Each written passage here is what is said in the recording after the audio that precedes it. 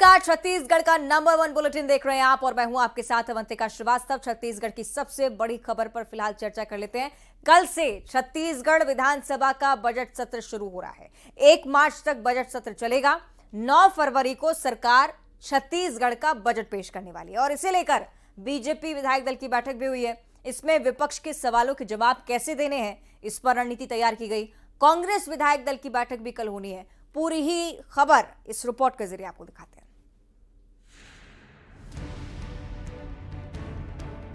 छत्तीसगढ़ विधानसभा का बजट सत्र 5 फरवरी से शुरू हो रहा है, जो 1 मार्च तक चलेगा। बजट सत्र में 9 फरवरी को सरकार बजट पेश करेगी। इसे लेकर विधानसभा के अध्यक्ष डॉक्टर रमन सिंह ने जानकारी दी। द्वितीय सत्र, बजट सत्र, दिनांक 5 फरवरी से 1 मार्च 2024 तक आहूत की गई है। छत्तीसगढ़ के सष्टम विधानसभा का यह द्वितीय सत्र नौ वर्ष 2024 का प्रथम विधानसभा का सत्र है। इस सत्र में कई मायने में महत्वपूर्ण ये कई मायने में महत्वपूर्ण होने वाला है। प्रदेश की नई सरकार के बजट प्रस्तुत किया जाएगा। सरकार के बजट के अनुसार छत्तीसगढ़ के विकास की दिशा तय होगी। इधर बजट सत्र को लेकर बीजेपी विधायक दल की बैठक हुई जिसमें विपक्ष के सवालों के जवाब देने और बजट को लेकर मंथन किया गया। जो कांग्रेस की सरकार ने छत्तीसगढ़ को दिवालियेपन के कगार पर धकेल दिया था। उन विकट चुनौतियों के बीच में हमारी सरकार, आदरणीय विष्णुदेव साय जी के नेतृत्व में नई बजट वर्ष 2024-25 के लिए प्रस्तुत हम लोग करेंगे और इसमें निश्चित रूप से मोदी जी की गारंटी एक बड़ी प्राथमिकता के रूप में सामने आएगी। सत्र का आगाज़ राज्यपाल के अभिभाषण से होगा। सत्र के दौरान कई अहम विधेयक पेश किए जाएँगे। वहीं 9 फरवरी को वित्त मंत्री ओपी चौधरी साल 2024 और 25 के लिए छत्तीसगढ़ सरकार का बजट पेश करेंगे। 12 और 13 फरवरी को बजट पर चर्चा होगी। वहीं 14 से लेकर 26 फरवरी तक विभागवार अनुदान मांगों पर चर्चा की जाएगी। Bureau report, news 18 Madhya Pradesh, Chhattisgarh.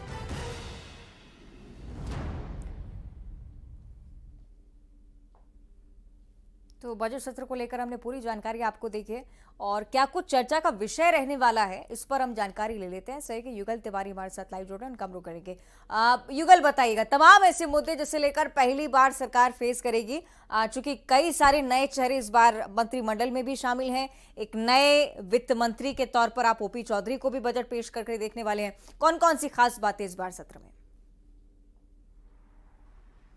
देखिए बीजेपी विधायक दल की बैठक हुई और उनमें से अधिकांश ऐसे विधायक हैं जो पहली बार जीत करके विधानसभा पहुँचे हैं। तो उन विधायकों को यहाँ पर प्रशिक्षण भी एक तरह से दिया गया है कि बताया गया है कि किन मुद्दों को किस तरह से उठाना है और जब सरकार की प्रतिक्रिया रहेगी, या सरकार की जब जवाब देते रहेंगे तो उन्हें किस तरह से वहाँ पर सदन में रहना है, तमाम बातों को गुर है, वहाँ पर उन्हें सिखाया गया है। और इसके अलावा जब संसदीय कार्य मंत्री ब्रिजमोहन अखबार से जब बातचीत हुई तो उन्होंने कहा है कि पूर्ववर्ती सरकार के जो भ्रष्टाचार के मुद्दे हैं उसके ही सबसे अधिक सवाल आएँगे। क्योंकि अभी जो विष्णुदेव साय की जो सरकार है वो अभी पहली चुनाव जीत करके आई है पाँच साल बाद। तो उनके कहना यह है कि जो राज्य सरकार के खिलाफ ऐसे कोई उतने बड़े मुद्दे नहीं हैं। और हम्म। सबसे बड़ी बात यही है कि जो है नौ फरवरी को जो बजट है वो पेश किया जाएगा।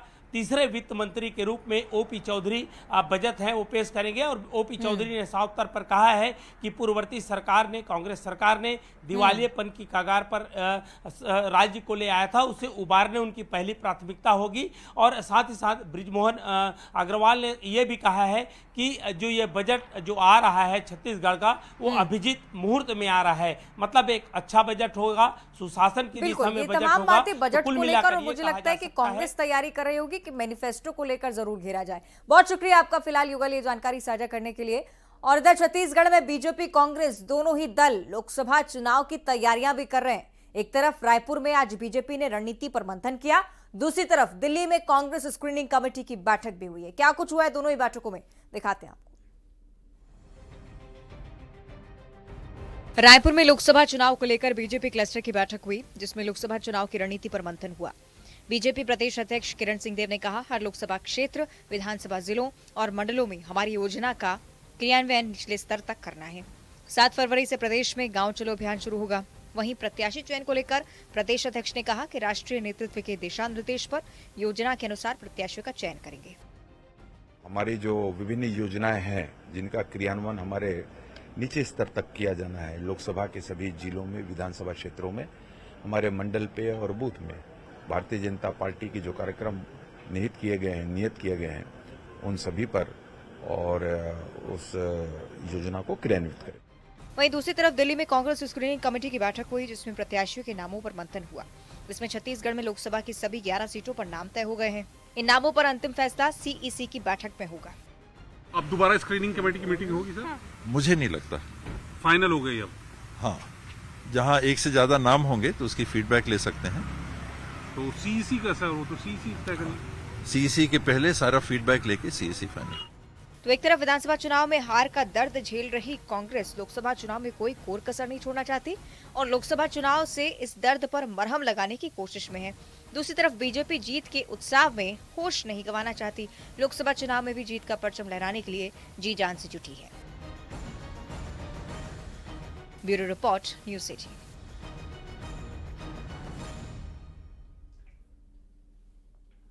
और अब एक खास खबर, छत्तीसगढ़ की महिलाओं के लिए। प्रधानमंत्री की एक और गारंटी, छत्तीसगढ़ में पूरी होने जा रही है।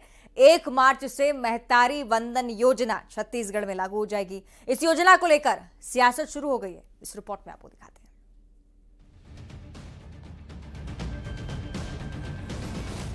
छत्तीसगढ़ में महतारी वंदन योजना को लेकर सियासत शुरू हो चुकी है। कांग्रेस इसको लेकर बीजेपी पर निशाना साध रही है।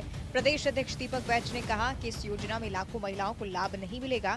उन्होंने बीजेपी पर महिलाओं को लालच देने के आरोप लगाए हैं। हमने शुरू से ही कहा था कि भारतीय जनता पार्टी छत्तीसगढ़ की माता बहनों को सिर्फ़ लालच देने का काम कर रही है। बहुत से ऐसे जहाँ तक संविदा कर्मचारी के परिवार तक का लाभ नहीं मिल रहा है। वो संविदा कर्मचारी जो अपनी हक के लिए लड़ाई लड़ रहे उसके बाद आप पेंशनदारी माता बहनों को भी आप कटौती कर उसमें आप मतलब जितना लाभ मिलना चाहिए इस प्रदेश की माता बहनों को, इस योजना से लाभ नहीं मिलेगा। वहीं कांग्रेस के आरोपों पर पलटवार करते हुए डिप्टी सीएम अरुण साह ने कहा कि आयकर दाता शासकीय कर्मचारी, विधायक, सांसद, पूर्व विधायक, पूर्व सांसद, मंडल आयोग के अध्यक्षों को योजना से बाहर रखा गया है। योजना में वास्तविक और जरूरतमंद लोगों को ही लाभ मिलेगा।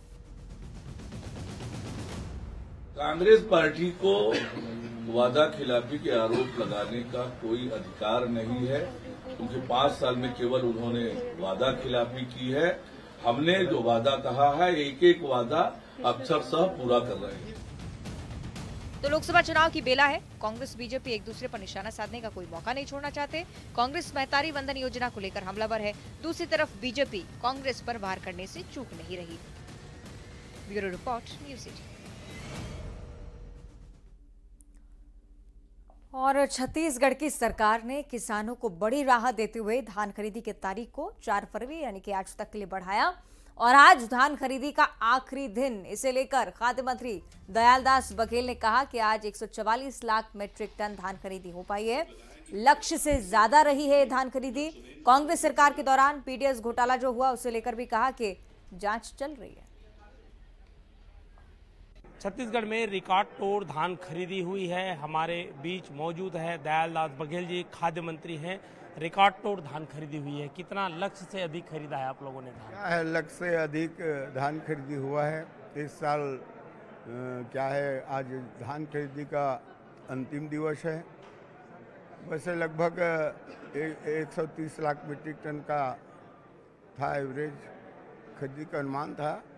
और उससे भी कहीं ज़्यादा अभी तक के जो रिपोर्ट आया है उसमें एक लाख चौवालीस एक सौ चौवालीस लाख मीट्रिक टन का खरीदी का सूचना भी मिला है और आज अंतिम निर्णय आज हो जाएगा।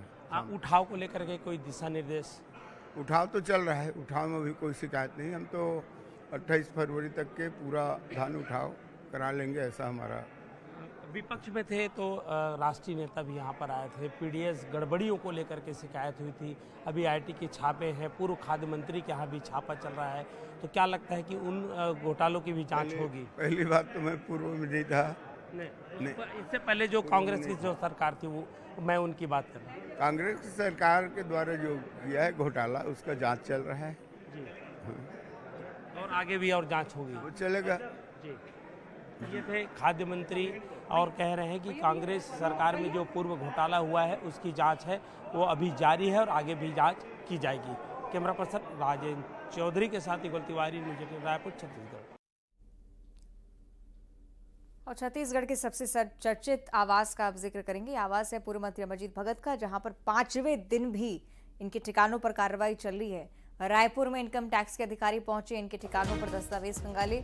अंबिकापुर में भी अमरजीत भगत के ठिकानों पर, करीबियों पर रेड पड़ी। पाँचवें दिन अब जाकर ये कार्रवाई खत्म हुई है। आयकर अधिकारियों की टीम यहाँ से रवाना हो गई है। अमरजीत भगत पर आईटी की कार्रवाई को कांग्रेस ने बदले की कार्रवाई बताया। दीपक बैच कह रहे थे कि बीजेपी बदले की भावना से काम करती है। ईडी सीबीआई और आईटी के ज़रिए सरकार को बदनाम करने की कोशिश हो रही है।